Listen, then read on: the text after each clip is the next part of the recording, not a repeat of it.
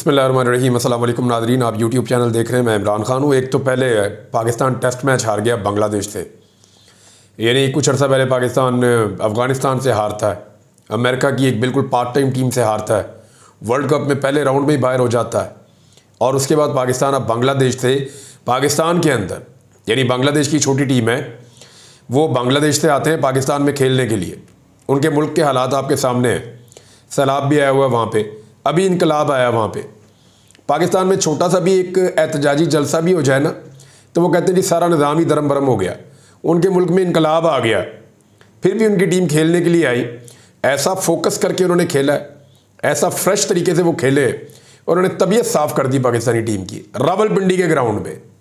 रावलपिंडी के ग्राउंड में। अब ये पाकिस्तानी टीम क्यों हार रही है, ये बात समझ नहीं आ रही। बेहतरीन बॉलर्स हैं। बेहतरीन बैट्समैन हैं। इनके रिकॉर्ड देखें तो इतने अच्छे हैं। लेकिन कोई एफर्ट नज़र ही नहीं आ रही। यानी दो तीन चीज़ों का फुकदान है। ऐसा लगता है टीम नहीं खेल रही। मुख्तलिफ़ लोग हैं जिनको किराए पे पकड़ के लाया गया है और उन सबको खिला रहे हैं, वो अपने अपने लिए खेल रहे हैं। एक यूनिट लगता ही नहीं है। यानी इतनी बड़ी डिवीज़न है टीम के अंदर। हर आदमी अपने बंदे को कैप्टन बनाना चाहता है। ऊपर से टीम के ऊपर जो लोग बैठे हुए हैं, उनसे भी लोग मायूस हैं। और पाकिस्तानियों का तो दिल चढ़ गया है क्रिकेट से, जिस तरह वर्ल्ड कप के अंदर परफॉर्मेंस थी। पाकिस्तान की क्रिकेट टीम की। अच्छा पाकिस्तान की क्रिकेट टीम का बेड़ा गरक कर दिया। मोहसन नकवी को वज़ीर दाखिला भी रखना है, जिद है। और मोहसन नकवी को पीसीबी का चेयरमैन भी रखना है। ये जिद है। पाकिस्तान की तारीख में आपको ऐसा कम्बिनेशन नहीं मिलेगा। वज़ीर अला भी था और पीसीबी का चेयरमैन भी था। अब पीसीबी का चेयरमैन भी है और वज़ीर दाखिला भी है सेनेटर भी है। कोई अहदा रह गया तो वो भी मोहसन नकवी को दे दें। किसी चीज़ का अगर बेड़ा गर्क मजीद करना है तो वो भी उनको फ्राहम कर दी जाए ताकि वो और कर दें। अब क्रिकेट की जो हालत उन्होंने कर दी है, क्रिकेट का उनको वाली बे का भी नहीं पता। उन्हें नहीं पता, वो कोई ना कभी वो फ़र्स्ट क्लास क्रिकेट खेले हैं, ना उनका कोई इसके साथ ताल्लुक है। एक सहाफ़ी था, सहाफ़त कर रहा था। उसको बाद में सियासतदान बना दिया। सियासतदान बना के अब उसको पीसीबी के अंदर चेयरमैन भी बना दिया। पाकिस्तान का वाहिद खेल है, जिसके साथ पाकिस्तानी बहुत प्यार करते हैं। मुझे तो लगता है डेलिब्रेटली हर उस चीज़ को ख़राब किया जा रहा है इस मुल्क के अंदर। जिस चीज़ से पाकिस्तानी प्यार करते हैं। यानी पाकिस्तानी जो हैं, वो क्रिकेट से प्यार करते थे। क्रिकेट का बेड़ा गर्क आपके सामने। पाकिस्तानी जिस लीडर से प्यार करते थे, उसकी हालत आपके सामने। पाकिस्तानी जिस इदारे से प्यार करते थे, वो आपके सामने है कि क्या हो गया। यानी हर वो चीज़ जिसे पाकिस्तानी पसंद करते थे, उस चीज़ की हालत पाकिस्तानियों की नज़र में क्या की जा रही है कि पाकिस्तानी तवज्जो दे नहीं छोड़ दें। ये हो रहा। और जनाब, बांग्लादेश ने बड़ा कमाल खेला। बड़ा फोकस्ड होकर खेले। दस विकटों से उन्होंने हराया पाकिस्तान को टेस्ट मैच। छोटी सी टीम है और पहली मरतबा उन्होंने पाकिस्तान को यूँ शिकस्त दी है। तो पाकिस्तान की टीम जो है वो इतने बड़े बड़े नाम, इतने बड़े बड़े नाम और इतने छोटे दर्शन यानी काम ही इनसे कुछ नहीं हुआ। तो मुझे नहीं लगता कि एक मेजर सर्जरी जिसका कहा गया था कि की जाएगी वो हुई है। मेरे ख्याल में गोंगलुओं से मट्टी मुट्टी झाड़ के एक के बाद दूसरा, दूसरे के बाद तीसरा। जो लोग इससे अपने आप को दूर रखेंगे, वो अपनी इज़्ज़त बचाएँगे। मैंने ये नोट किया है। मोहसिन नकवी साहब की जब से वो पीसीबी के चेयरमैन बने, तब से लेकर अब तक पाकिस्तान क्रिकेट का बदतरीन जवाल आया है। अब जब ये करवाएँगे दोबारा से पीएसएल तो लोग कैसे उसमें दिलचस्पी लेंगे? लोग तो दिलचस्पी उस खेल में लेते हैं जब आप इंटरनेशनली परफॉर्म कर रहे होते हैं। जब परफॉर्म ही नहीं करेंगे तो लोग क्यों दिलचस्पी लेंगे? तो क्रिकेट का तो नादरीन बेड़ा गर्क करके रख दिया इन्होंने। और अजीबोगरीब ट्रेनिंग करवा दी पहले पाकिस्तान टीम को। उसके बाद पाकिस्तान टीम जो है, वो जाके एक वर्ल्ड कप हार के आ गई। और अब अपने मुल्क के अंदर बांग्लादेश से ये टेस्ट मैच हार गए हैं। ये हालात रहे तो दुनिया की हर टीम इनको क्रिकेट हराएगी। ये बड़े बड़े प्लेयर्स ही होंगे, लेकिन टीम कोई नहीं होगी।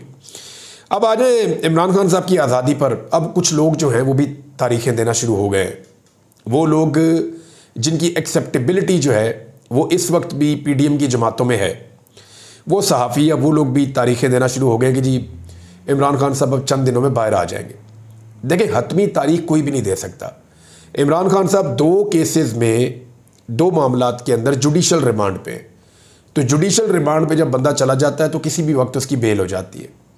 हो सकता है मंगल या बुध को उनकी बेल हो जाए और इमरान खान साहब बाहर आ जाए। कानून के मुताबिक तो यही होना चाहिए कि ये जो हफ़्ता शुरू हो रहा है, इसमें इमरान खान साहब की ज़मानतें हो जाएँ और इमरान खान बाहर आ जाए जेल से। होना तो ये चाहिए, लेकिन कोई तारीख आप दे इसलिए नहीं सकते कि पूरा सिस्टम एट स्टेक है।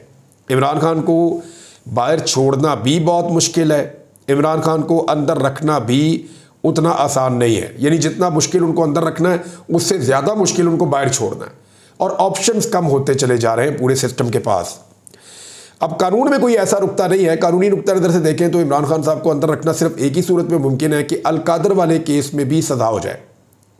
अलकादर ट्रस्ट वाला जो यूनिवर्सिटी वाला जो केस है, उसमें भी अगर इमरान खान साहब को सज़ा दे दी जाती है तो फिर उनको दोबारा उसकी बेल करवानी पड़ेगी।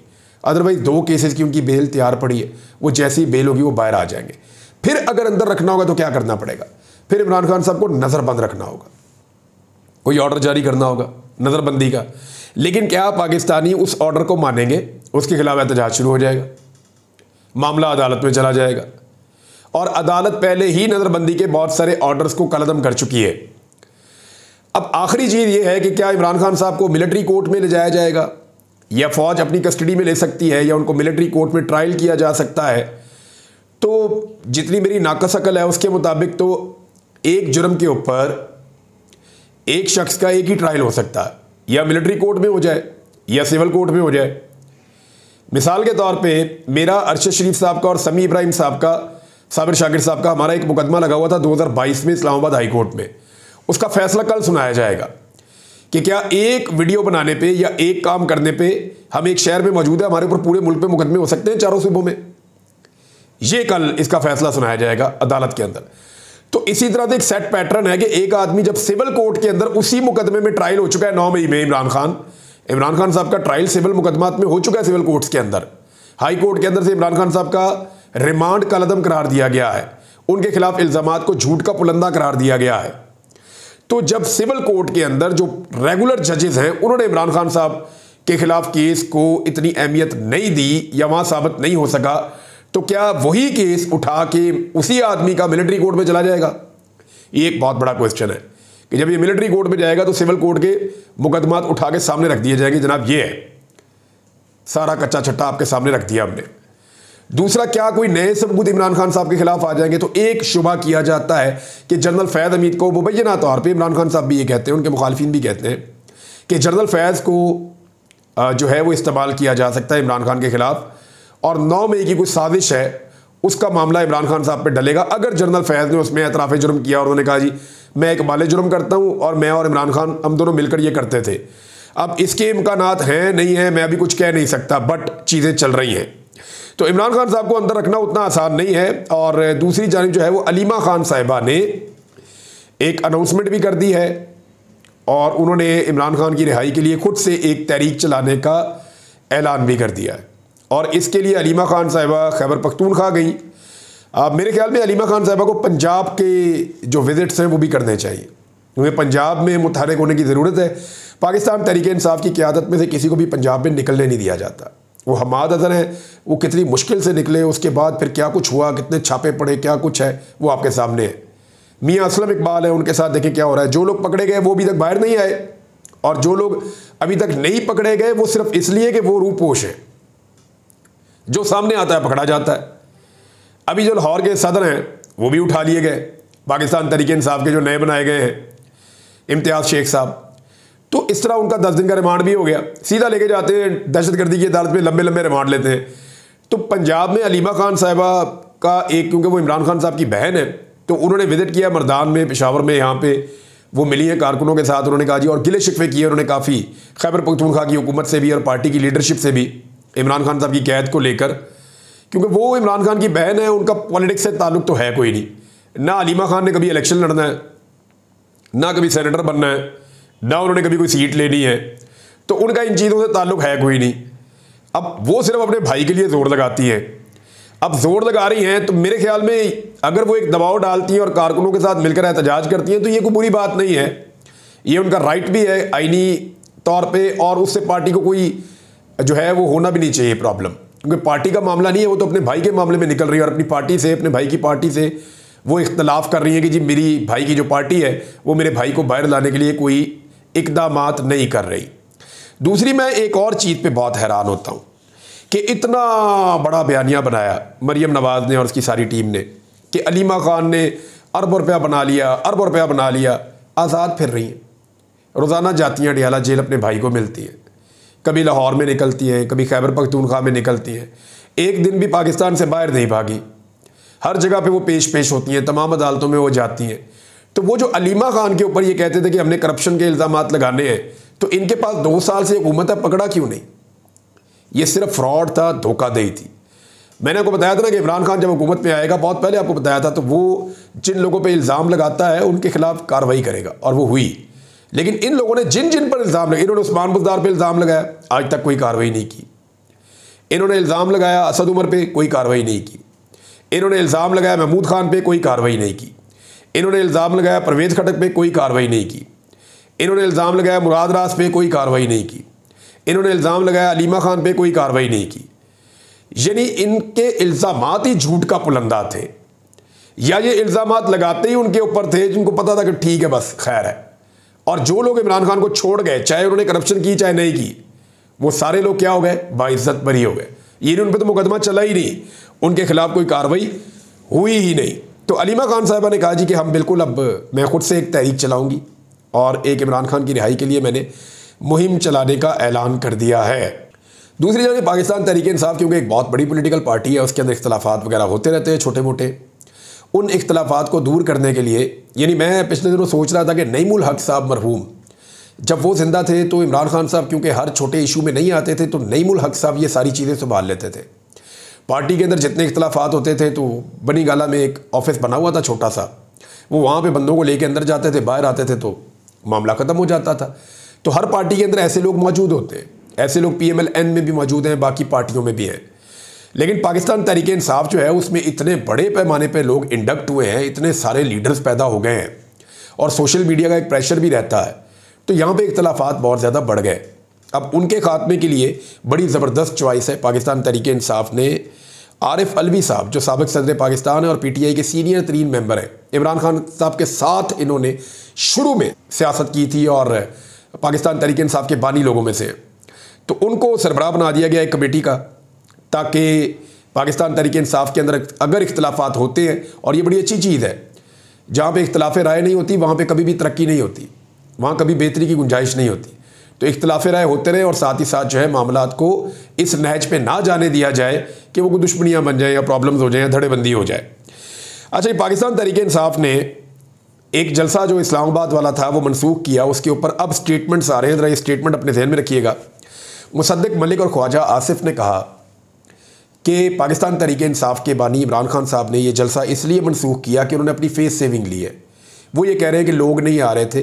और इस बात का खदशा था पाकिस्तान तरीके इंसाफ को, इन दोनों लोगों के बकौल, कि जनाब लोग नहीं आ रहे, इसलिए ये जलसे से भाग गए और इन्होंने जलसा मनसूख कर दिया है।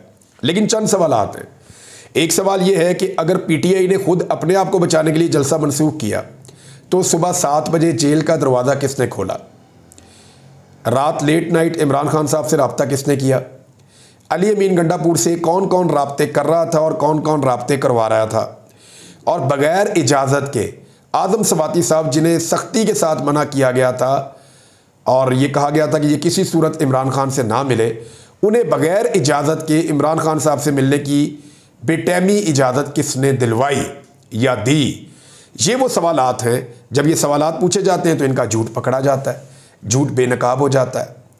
ये जलसा हुकूमत के और इस्टेब्लिशमेंट के गले पड़ा हुआ था। और इमरान खान साहब ने इस खदशे से कि खून रेजी हो गई तो एक और नौ में ही गले पड़ जाएगा। इन्होंने जलसा मनसूख किया है। लेकिन अब सबकी तवज्जो जो है, वो 8 सितंबर वाले जलसे की तरफ़ है और इसके लिए जो लाहौर में 27 तारीख को जलसा रखा गया था, उसको मनसूख कर दिया गया है। कि अब लाहौर में जलसा नहीं होगा, पहले इस्लामाबाद में ही जलसा होगा। क्योंकि तरीके इंसाफ ने यह तय किया है कि पहला जलसा इस्लामाबाद में करेंगे, उसके बाद फिर लाहौर में जाएँगे, उसके बाद फिर कराची में जाएँगे और मुख्तलिफ़ शहरों में फिर मोमेंटम बनाएँगे और हर ज़िले के अंदर जलसा करेंगे। इमरान खान साहब जो है, वो किसी भी लम्हे आज़ाद हो सकते हैं। कुछ साइंस नज़र आना शुरू हो गए हैं। यानी इस्टेब्लिशमेंट ने जिन जमातों के ऊपर तकिया किया था, उन्हें इकतदार के अलावा नज़र ही कुछ नहीं आता। नून लीग और पीपल्स पार्टी दिन रात इकतदार के लिए एक दूसरे के साथ खेचा तानी करते रहते हैं। दोनों मिलकर इकतदार में तो आ गए हैं, लेकिन नून लीग मांगती है, सिंध के अंदर हिस्सा, और ये थोड़ा बहुत मांगती है। लेकिन पीपल्स पार्टी पंजाब में एक बड़ा शेयर मांगती है। वो कहते नहीं पावर शेयरिंग करें हमारे साथ। नून लीग पंजाब को अपनी जागीर समझती है और उसमें से हिस्सा देने के लिए तैयार नहीं है। दूसरी जानब पाकिस्तान, पीपल्स पार्टी के लोग ये ताना देते हैं कि, जनाब, आपकी ये हुकूमत नहीं है, ये लूट का माल है।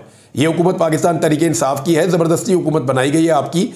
लिहाजा इसमें जितना हिस्सा आपका है तो हमें भी एक बड़ा शेयर दिया जाए। लेकिन नून लीग वो शेयर देती नहीं है। लेकिन अब सुना है कि दोनों इकट्ठे होकर, क्योंकि बुरा वक्त आने वाला है, इकट्ठे होकर पावर शेयरिंग के फार्मूले पे जा रहे हैं। और वो पीपल्स पार्टी किस मुँह से पंजाब में हिस्सा मांग सकती है, जिसने सिंध में ये हालत कर दी है कि मैं आपको सिर्फ़ एक ज़िले की कहानी सुनाने वाला हूँ। और ये रिपोर्ट हो चुका है अंग्रेज़ी अखबार के अंदर। पाकिस्तान पीपल्स पार्टी पंजाब में हिस्सा मांगती है, मगर सिंध के एक ज़िला थरपारकर को अगर आप देखें तो वहाँ गुर्बत, भूख, अफलास, बेरोज़गारी और परेशानियों की वजह से तंग आकर सिर्फ़ दो साल में, इमरान खान की हुकूमत गिरने से लेकर अब तक, सिर्फ़ दो साल में सिर्फ़ एक ज़िला तरपारकर है, सिंध का। वहाँ पे चार सौ छियानवे अफराद ने खुदकुशियाँ की हैं, जो रिपोर्ट हुई है। चार सौ छियानवे, यानी पाँच सौ से चार बंदे कम। ये खुदकुशियाँ हुई हैं, जो रिपोर्ट हुई है। और जो रिपोर्ट नहीं हुई, वो इससे कहीं ज़्यादा है। यानी इतनी बड़ी तादाद में सिर्फ़ एक ज़िले में दो साल में लोगों ने खुदकुशियाँ की हैं। खुदकुशियाँ करने वालों में छप्पन फ़ीसद अकलीती बरदरी हिंदू की है। हिंदू बरदरी है, अकलीत में छप्पन फ़ीसद वो है, बाकी जो है वो दूसरे हैं। और बेरोज़गारी जो है वो बहुत बड़ी तादाद में है, नौजवान खुदकुशियाँ कर रहे हैं। ये है जी सूरत हाल सिंध की, एक ज़िले की। और वो मांग रहे हैं पंजाब में पावर शेयरिंग अट्ठाईस तारीख को ताजरों ने भी नादरी ने एक ऐलान कर रखा है कि एक बहुत बड़ी हड़ताल वो पंजाब में करने जा रहे हैं। पाकिस्तान तरीके इंसाफ के लापता कारकुन बहुत तेज़ी से वापस आ रहे हैं। छः सात कारकुन पिछले छत्तीस अड़तालीस घंटों के अंदर वापस पहुँचे हैं। तो उम्मीद की जा रही है कि बाकी भी वापस आ जाएँगे। लेकिन मेरी जो सबसे ज़्यादा तवज्जो जिस तरफ़ है, वो है कि अजहर मुशवानी के भाई वापस आने चाहिए। उन्होंने बहुत तकलीफ़ बर्दाश्त की है। उनके बुज़ुर्ग वालदेन ने बहुत तकलीफ़ बर्दाश्त की है। उनके घर में एक दो लोग बीमार भी हैं, मैं जानता हूँ। उनके बच्चे बहुत उदास हैं। सिर्फ़ एक लड़के से सियासी इख्तलाफ की कीमत ये नहीं हो सकती कि आप पूरे ख़ानदान को सूली पर टांग दें और इतनी बड़ी तकलीफ़ आप उन्हें पहुँचाएँ। ये बड़ा अनफॉर्चुनेट है। उनके भाइयों को फ़ौर छोड़ा जाना चाहिए। अच्छा जो आइनी तरमीम ये करने जा रहे थे, उससे ये भाग गए। ये चीज़ें मैं आपको अगले वीलॉग में बताऊँगा। और यह मकबूल जान साहब पे क्या इल्ज़ाम मज़ीद लगाए गए हैं, वो तफसीत भी मैं आपको अगले वीलॉग में बताऊँगा और मैं बताऊँगा कि असल मुजरिम कौन है और औरिया साहब किस बात की सज़ा काट रहे हैं। अब तक इतना ही, अपना ख्याल रखिएगा। अपने इस चैनल का भी। अल्लाह हाफ़